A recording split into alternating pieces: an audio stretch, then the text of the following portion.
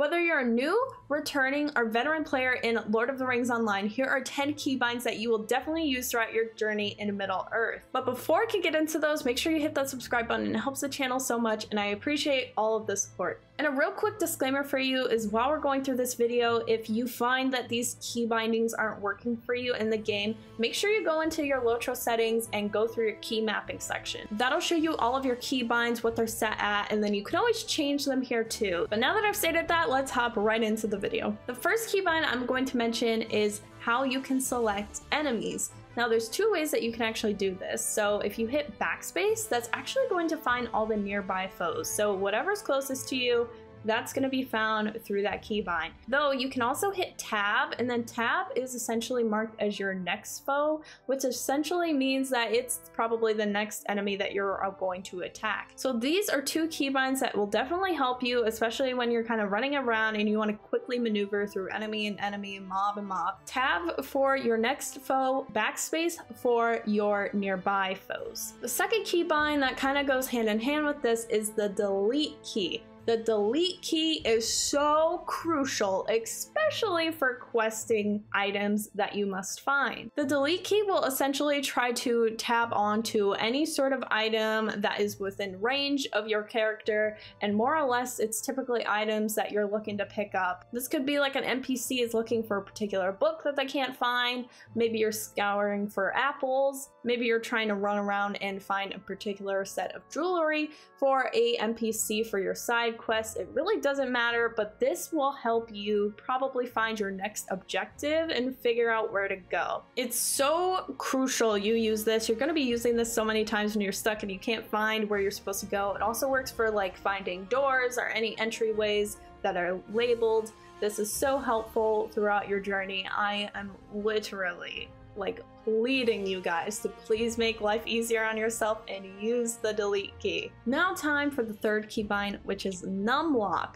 Numlock will actually trigger you to auto run. Auto run is so helpful when your fingers are cramping at the keyboard. It's like cruise control. It's literally cruise control for your characters. Another thing I kind of want to follow up with this too is that there is a way to follow people as well. So if you're in a fellowship, for an example, and you essentially are just kind of going on autopilot maybe you're going to take a little r&r but you can actually follow a certain individual's character. You can do that by like right clicking on the portrait and then there is a little menu and that will allow you to follow them. It's super convenient especially for those quick restroom breaks. We all been there. Gotta go grab a snack we'll just follow the other person. It's super nice. However it is a little difficult because that means that person cannot get you stuck on any sort of corners, bridges, make you fall off ledges. You're literally trusting your character's life in someone else's hands. It's a little intimidating. but no, seriously, if you're not a terrible leader like me, I always make people's characters fall off the ledge on accident. I, I swear it's an accident. But no, seriously, just double check and make sure that their character is following behind you and that they're not stuck because if you're jumping I guarantee you that character is not about to jump and they're probably going to be stuck on like a fence or something ridiculous and then it's going to break auto follow and then you're just going to have to sit there and wait until the character gets back.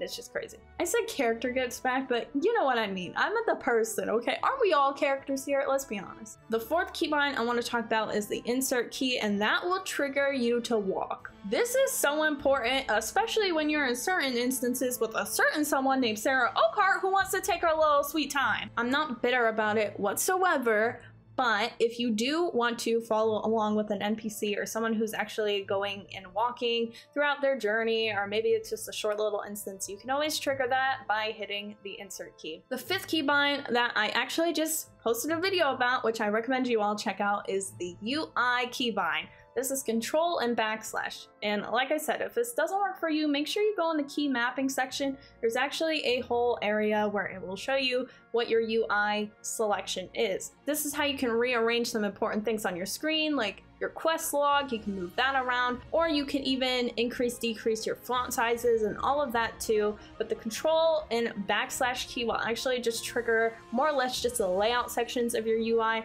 So make sure you're rearranging everything how you'd like because it will definitely drive you crazy if you have something popping up in the screen that's not supposed to be where it's supposed to be at. It drives me insane. The sixth key I'm going to mention here is X. X. And no, I am not talking about this new freaking Twitter thing, whatever the heck. I'm talking about the key here, but this will actually allow you to auto turn with any selected enemy that you may have on your screen. Say for an example that I had hit the X key and then I go and I follow the first keybind, which is just hitting tab for instance. I go hit tab, I select the foe, and because you previously had selected X, that'll actually make you turn into the direction of that mob. So anytime that you go and you pre-select a mob, that essentially is going to make your whole camera turn in the direction of the foe that you are about to go and defeat. I personally don't really care for this because this actually gives me a little bit of motion sickness. I don't know if it works for any other people, but it is just not my forte. Definitely a to each their own kind of situation. The seventh keybind I want to mention here is the Alt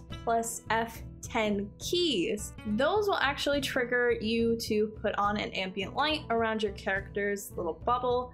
This should help you with more or less just seeing more of your surroundings around your character. This can only be activated at nighttime, however, so keep that in mind, but it should at least give you a little bit more brightness in that area and aura around your character. The eighth thing I'm going to mention is a little more particular, and so is the ninth thing, just spoiler alert, but this is for people who are super into outfits and trying to make their awesome cosmetic outfits work for them. The keybinds I want to mention for this are control and left clicking the mouse. If you hit those keys on a cosmetic item, that'll actually allow you to pull up your dressing room window is what it's called in Lotro. It's essentially like your outfit preview and then that'll show you what a particular item may look on your character. Not only this, but this actually will allow you to trigger and look through the different dyes that are available and how that dye color would look on your character before you actually permanently dye that outfit piece. It is actually a pretty good lifesaver in those cases because sometimes I dye some things and I'm like, yo, this looks ugly as heck. Why did I do this? And then I have to go re-dye it to fix it and it's just a lot of money and gold down the drain. The ninth keybind here is particular for crafters and this is the alt left click. This can only work on suppliers, however, I want to make that so clear, but this is how you can bulk buy any items for crafting. So as an example, say I'm going in and I talk to a supplier and I just want to buy a bucket of water. But for a farmer, for instance, you definitely have to buy a crap ton of quantity. I'm talking like hundreds and hundreds of things. So once I talk to the supplier and I have the window open and I'm going through the little shop, you can actually hold Alt and then you're going to see this little icon appear over the top of all of the prices on any of those supplier items. That just shows you that those items can be bought in a quantity and then once you go and you actually left click it like you're about to buy it, you actually have a small window that'll pop up where you can customize the quantity that you are to buy. They automatically give you like the max amount, which is always 500, or you can do half of that, or you can always go in and type in how many you need, which is so vital for farmers in particular. This will definitely help you. This honestly goes for any crafting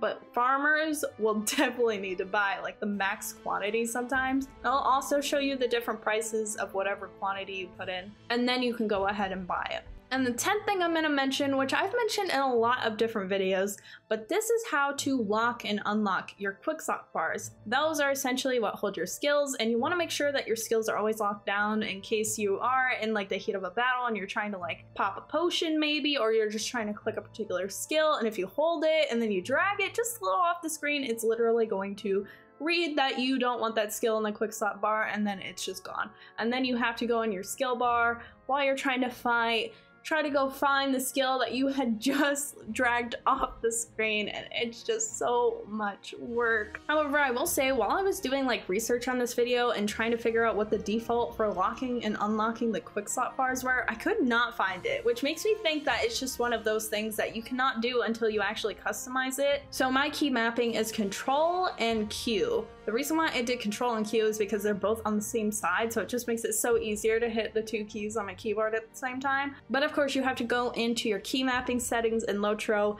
and go set those up yourself if you wanted to have that same exact key mapping as me, but it's totally up to you. So yeah, I think we about covered it, but if you want more videos like this, let me know down in the comments. The next video I recommend you check out is the UI tutorial. I go through all of the different settings that are available under the UI section and I talk about which ones I prefer personally, so it might give you some more insight. So I'll see you over there at the next video, and of course, until next time, you stay weird, you weird weirdos.